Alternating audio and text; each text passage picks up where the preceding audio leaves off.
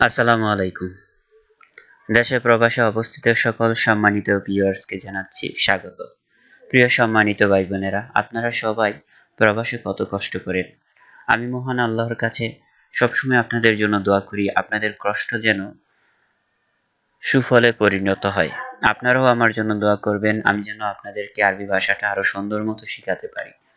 প্রিয় সম্মানিত ভাই বোনেরা আপনাদের সকলের কাছে অনুরোধ প্লিজ চ্যানেলটি সাবস্ক্রাইব করে নেবেন। সাবস্ক্রাইব করলে আমি অনেক বেশি উৎসাহিত হই, বেশি বেশি করে আরবি ভাষার ভিডিও দিতে অনেক বেশি উৎসাহিত হই। সুতরাং দয়া করে চ্যানেলটি সাবস্ক্রাইব করে নেবেন।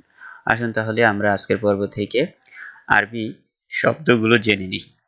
আমাদের আজকের প্রথমত যে শব্দটি আছে সেটা হলো দেখা। এই শব্দটিকে আরবি ভাষায় বললে বলবেন সুফ সুফ শব্দের বাংলা অর্থ দেখা। তারপর লিখে আছে ভালো বা উত্তম। ভালো বা উত্তমকে আরবি ভাষায় বলে জেন। জেন শব্দের বাংলা অর্থ ভালো বা উত্তম। ভালো না বা উত্তম না, এগুলোকে আরবি ভাষায় বলা হয় মাফিজেন অথবা বলতে পারেন মুজেন। মাফিজেন বা মুজেন শব্দের বাংলা অর্থ ভালো না বা উত্তম না। এবার লেখা আছে ভালো না। ভালো নাকে আমরা আরেকভাবে বলতে পারি, সেটা হলো মুকয়েস। মুকয়েস আরবি শব্দ, এর বাংলা অর্থ ভালো না। তারপর লেখা আছে মোটামুটি। মোটামুটিকে আরবি ভাষায় বলে নুস নুস? নুস নুস মানে হলো মোটামুটি। লেখা আছে চুল। চুলকে আরবি ভাষায় বলে শাহ আর শাহ আর এর বাংলা অর্থ চুল। পানিকে আরবি ভাষায় বলা হয় ময়া বা ময়।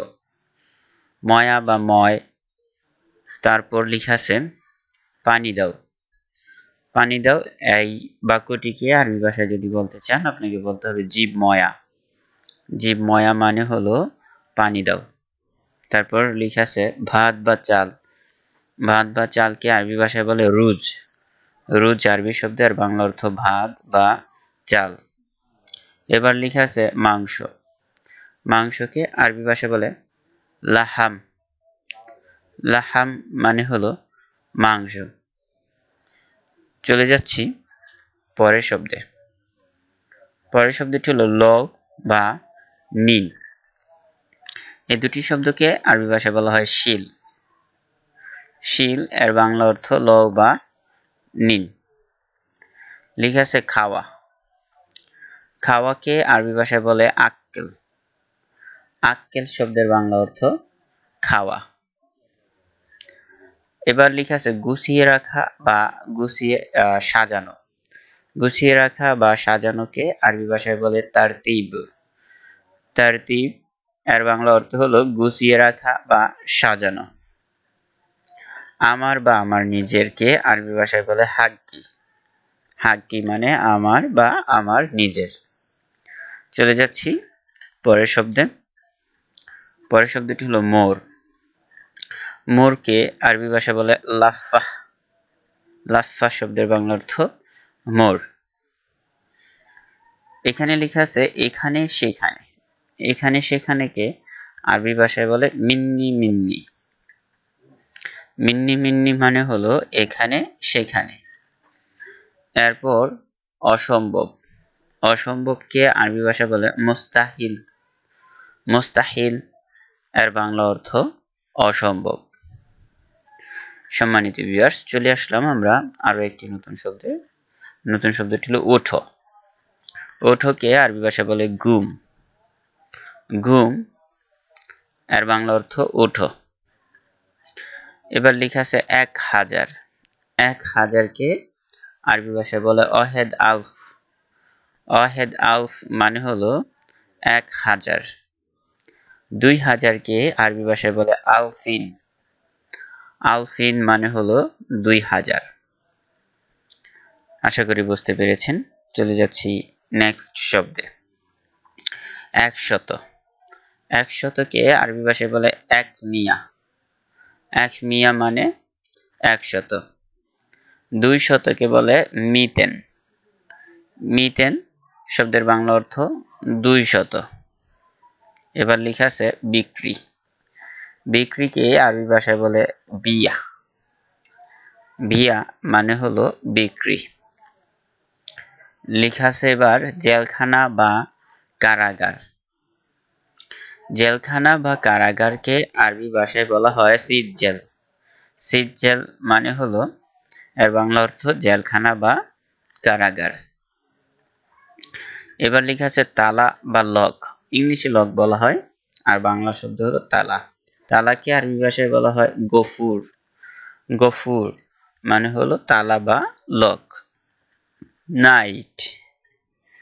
নাইট কি আরবি ভাষায় বলে লম্বা লম্বা মানে হলো লাইট। দুঃখিত, উচ্চারণটা হবে লাইট। লাইট কি আরবি ভাষায় বলে লম্বা আমরা চলে যাব পরবর্তী শব্দে। পরবর্তী শব্দটি হলো ঘাম। ঘামকে আরবি ভাষায় বলা হয় রতুবা। রতুবা মানে হলো ঘাম। তারপর কাচের গ্লাস।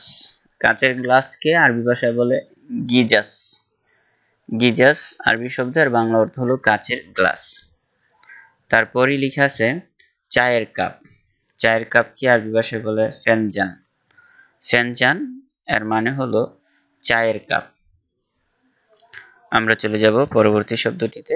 পরবর্তী শব্দটি হলো চা দাও চা দাও এই শব্দটিকে আরবি ভাষায় বলে হাত সাই হাত সাই মানে হলো চা দাও এবার লেখা আছে খোঁজা। খোঁজা এর আরবি শব্দ হলো দেওয়ার। দেওয়ার মানে হলো খোঁজা। চলে যাচ্ছি পরের শব্দটিতে। পরের শব্দটি হলো সে। সেকে আরবি ভাষায় বলে হুয়া। হুয়া বিশেষ করে পুরুষদেরকে বোঝানোর ক্ষেত্রে ব্যবহৃত হয়ে থাকে। তারপর চাবি আছে, এর আরবি হলো ফিমুফতা ফিমুফতা মানে চাবি আছে। রুমে।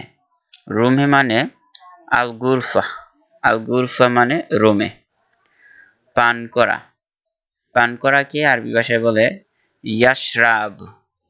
ইয়াশরাব মানে হলো পান করা। জুস। আর আরবি হলো আসির। জুস মানে আসির। ঠিক আছে।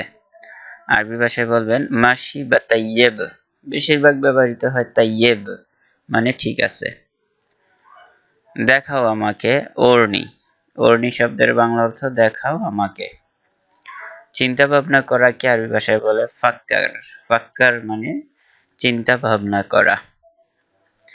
ইন্তিজার, এটা আরবি শব্দ, আর বাংলা অর্থ হলো অপেক্ষা করা। সম্মানিত ভিউয়ার্স আশা করি আজকের পর্বটি আপনাদের কাছে বেশ ভালো লেগেছে। যদি ভালো লাগে, অবশ্যই চ্যানেলটি সাবস্ক্রাইব করে বেল বাটনে ক্লিক করে দিবেন। যারা শুরু থেকে শেষ পর্যন্ত সম্পূর্ণ পর্বটি দেখেছেন, তাদের প্রতি কৃতজ্ঞতা প্রকাশ করছি। ইনশাল্লাহ নিয়মিত ভিডিওগুলো দেখতে থাকলে আরবি ভাষা নিয়ে আপনার যত সমস্যা সব দূর হয়ে যাবে। দেখা হবে পরবর্তী কোনো পর্বে। সে পর্যন্ত সবাই ভালো থাকুন, সুস্থ থাকুন, নিরাপদ থাকুন। আল্লাহ হাফেজ।